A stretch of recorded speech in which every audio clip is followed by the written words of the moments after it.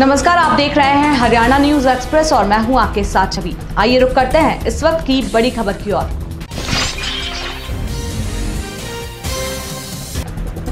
खड़ी कार में अचानक आग लगने की खबर है। मौके पर आसपास के लोगों ने समय रहते आग बुझाई। घटना जगाधरी वर्कशॉप स्थित हीरा पेट्रोल पंप के बाहर की है। इस घटना में गनीमत ये रही कि कार सवार कुछ मिनट पहले ही कार से निकलकर सामने कुछ काम के लिए गया था। इतनी देर में कार में आग लगने का शोर मच गया और लोग इकट्ठा हो गए। कार चालक अजय, जो कि औरंगाबाद का रहने वाला है, जब अपनी कार के पास पहुँचा, तब कार में आगे से आग की लपटे उठ रही थी। हालाँकि कार में आग लगने के कारणों का पता नहीं चल पाया है।